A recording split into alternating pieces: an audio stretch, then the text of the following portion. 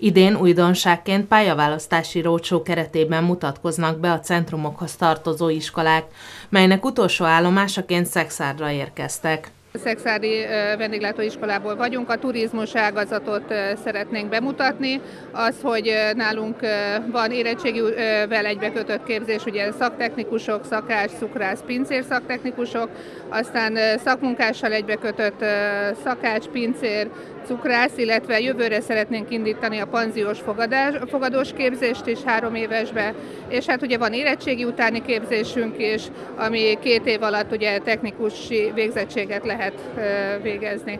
Érdemes ellátogatni ezekre az eseményekre, mert sok információt adnak a szakképzésről, segíthetik eldönteni, milyen irányban folytassa tanulmányait a pályaválasztó.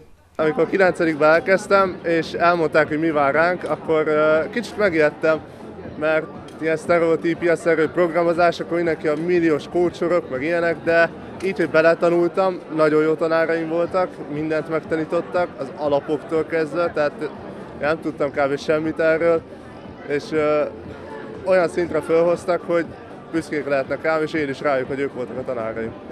Érdekes, interaktív bemutatókkal és sok hasznos információval szolgált az esemény, amit nagy érdeklődés övezett. Jelenleg inkább az elektronikai, elektronikai irányba mennék, illetve informatika. Egyenlőre sok érdekes dolgot megtudtam, például, hogy van az öt éves képzés, három éves képzés, és abba is tökéletesen most belemennek, hogy mihez mit kell tudni.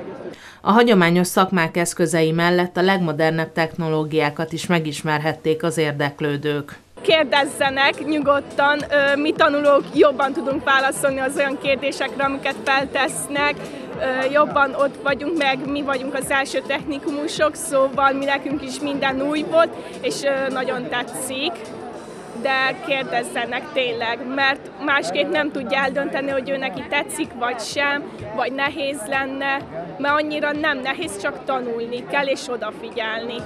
A nyílt napok pedig továbbra is lehetőséget jelentenek arra, hogy a látogatók tájékozódjanak a szakképzésről, bepillantást nyerjenek egy-egy iskola mindennapjaiba.